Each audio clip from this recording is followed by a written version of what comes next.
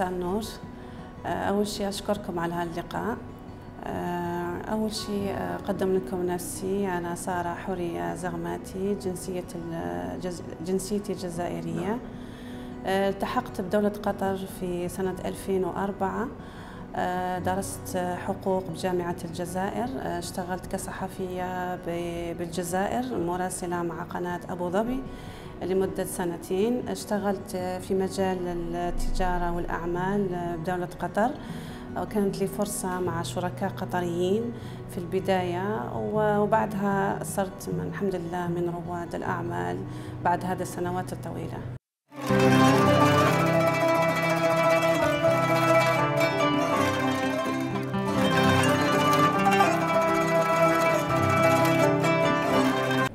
أول شيء تأسست الحضانة سنة 2011 أول انطلاقة بالنسبة لها كانت في سنة 2011 في شهر واحد وكانت في في الدوحة. وبعدها كنت مع الفكرة إجت كانت حضانة صغيرة ضمن الحضانات اللي كانت متواجدة آنذاك. أه وبعدها دخلت بفكرتي وطورت مع الشركاء اللي كانوا موجودين معي. أه أننا نطور من فكرة التعليم المبكر. لم يسر فقط أنه أه مثلا الأهالي يأتون بأطفالهم فقط من أجل أن تعليم معين. لا التعليم في الدول الأوروبية كانت جدا متطورة وأساليب حديثة طرق مبتكرة. فحاولنا مع الفريق المتواجد آنذاك أن نطور من الفكرة وفعلا طورنا من فكرة الحضانة أنه كانت حضانة صغيرة إلى مجموعة أفرع متعددة خلال تقريبا سنتين أو ثلاث. فهذه هي الفكرة. أما فكرتي أني أنطلق من الدوحة للخور كانت جدا صعبة لأنه أنا شخصيا لم أفكر أني أتي للخور نظرا لأنه الخور منطقة صعبة للتنافس منطقة صعبة كدراسة سكانية. منطقة صعبة كتأهيل تعليمي أوكي؟ فلما درسنا الخطة وصراحة أنا أتيت للخور بناء على طلب من الأهالي.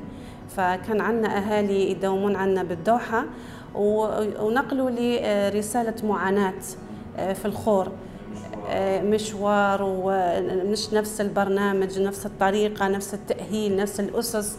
ف انطلقت والأهالي شجعوني على ذلك. أشكرهم يعني أوجه تحية خاصة لعائلة المسند.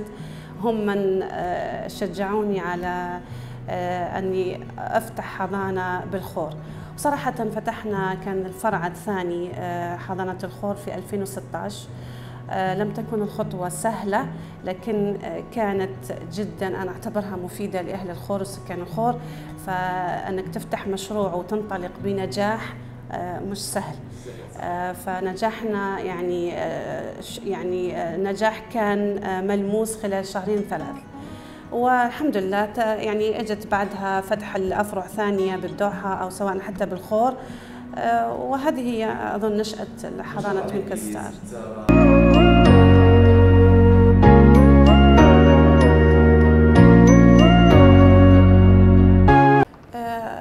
نختلف عن بقية الحضانات. العمر هو تقريبا من عمر الحين صار تحديث في, في الأعمار تقريبا من عمر شهرين إلى إلى غاية أربع سنوات.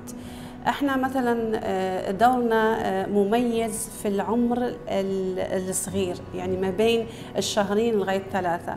أما لما ندخل في العمر الثلاثة لأربع سنوات فاعتبرها منافسة مع الروضة.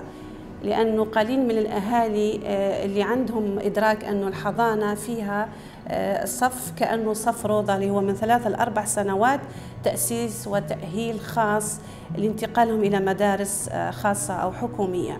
وهذا اللي يميز حضانتنا الحين الحمد لله لما نتلقى رسائل من المدارس أو رسائل من الأهالي خلال الاختبارات النهائية لاختيار اجتياح الطفل أو اجتيازه اختبار القبول تجينا نسبة عندهم نسبة قبول عالية. فصاروا لما يشوفون تقرير الطفل أنه آت من حضانة توينكل ستار يعني يوصل لي رسالة أنهم على كل ثقة أنه طفل جاهز.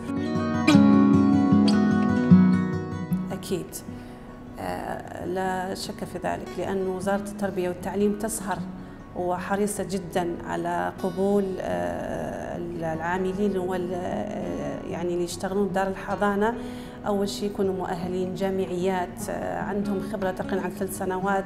فهذه الشروط أظنها تقريبا متوفرة في كل الحضانات.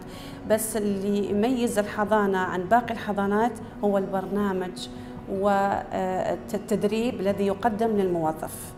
أنا لما أستلم موظف هذا الموظف يحتاج إلى تدريب. إلى دراية بخطة الحضانة لأن يعني خطة تختلف عن خطة. فهذا اللي يخلي الموظف أنه يصير مميز عن مكان ثاني. أظنها من ضمن الاشتراطات اللي تكون أساسية في في توظيف أي عامل داخل الحضانة أنه يكون جامعي يعني اختصاصه تربية أو اختصاص روض أو لغة أجنبية.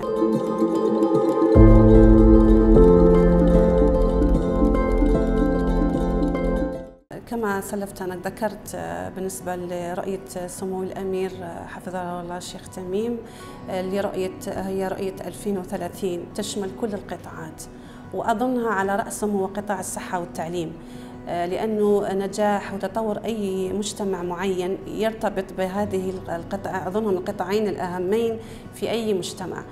فصراحة دولة قطر لم تبخل على مواطنيها أو مقيميها في مجال التعليم والصحة أو في حتى في موضوع نوعية التقديم الخدمات. فرؤيتي إن, إن شاء الله بإذن الله أني أطور من المكان أني أنتقل للروضة ممكن أنتقل إلى مدرسة بإذن الله بطريقة معينة وسلسة. أنا أؤمن أن الطفل يتعلم بطريقة سلسة مرنة بس تكون جدية. okay؟ الطفل لا ينفع مع أسلوب المدرسة مثلا من الصف الأول. okay؟ فالروضة والحضانة جدا أساسيين لتكوين أي جيل سليم.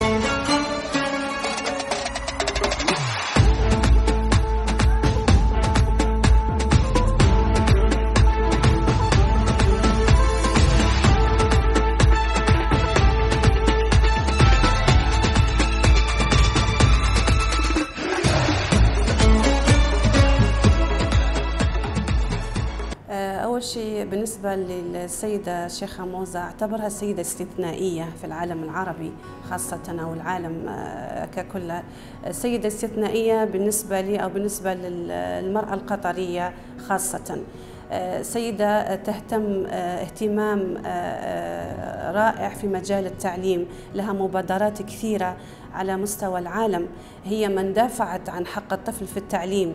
هي من دافعت عن حتى في آخر مؤخرا في 2020 صدرت صدر قرار أنه يصير يوم 9 من سبتمبر يوم للاحتفال بيوم التعليم من غير همجية. وهذا كان وراءه وراء الدعم الشيخة موزة حفظها الله وجهودها واضحة في في التعليم. وأنا أعتبرها كمثلي إن شاء الله. يعني سيدة يقتدى بها صراحة وسيدة استثنائية. أما بالنسبة للمرأة ودخولها عالم الأعمال عالم الأعمال يبي له يعني يحتاج نوع من أنك تكون عندك دراية بثلاث أمور مهمة. أنك تكون شخص متعلم. التعلم جد مهم في أي أعمال. أنك تكون شخص مثابر جدي أوكي؟ يعي معنى المسؤولية.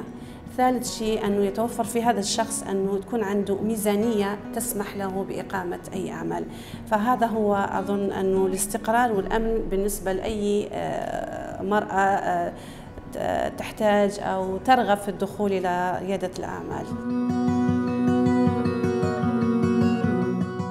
على الصعيد الشخصي والدي الله يرحمه يعني ما أظن أحد يستحقها غيره أنه هو من عزز في هذه الثقة هو من بنى هالشخص هو من أسس هو من تعب هو من علمني أنه برا البيت في حياة ثانية في حياة أخرى علمني أنه في مساواة في أمور معينة بين المرأة والرجل أنه المرأة تكون مرأة منتجة مسؤولة داعمة معطاة فهذه الأمور تعلمتها من والدي الله يرحمه. من خلال البرنامج أود أن أشكر أكيد على قلت أهلنا هني الوالد الشيخ حمد حفظه الله هو من انتقل بقطر إلى إلى بر ثاني إلى عالم ثاني. هو من أسس وهو من طور هو من فعلا سهر على كل شيء مميز داخل دولة قطر. وما ولا ما في شك أنه ابنه ونجله الشيخ تميم حفظه الله مشى على خطى الوالد آه، وطورها أكثر. وهذا ملموس في كل القطاعات صراحة. وفي لو يعني ما راح أذكر ولا أوافي في خلال دقيقتين بالإنجازات أو بال آه، بالسلسلة النجاحات التي توالت من بعد توليه وأهمها أنا آه، بالنسبة لي قطاع الاستثمار. فأي مستثمر أجنبي آه، أول من يستقطب المستثمر الأجنبي هو الأمن والاستقرار. لأنه من غير أمن واستقرار ما ما ينجح لا استثمار ولا أعمال. والحمد لله دوله قطر تتوفر على الأمن والاستقرار صاهرين على ذلك. حتى متميزين وعندهم نوعية في الأمن والاستقرار. وهذا ما يستقطب الأجانب أو المستثمرين عموما للاستثمار. ثاني شيء سهولة التعامل على مستوى الوزارات وخاصة وزارة التجارة والصناعة على معظم القطاعات. آه، استقطابهم. أنا شخصيا كتجربتي آه، كنت أظنها صعبة. كانت جدا سهلة سلسة بالتعاون مع وزارة التعليم لاستخراج آه، سجل كمستثمر أجنبي بنسبة 100% فعلى العكس دولة قطر إذا لم يصهر عليها هالإثنين لم تكن دولة قطر.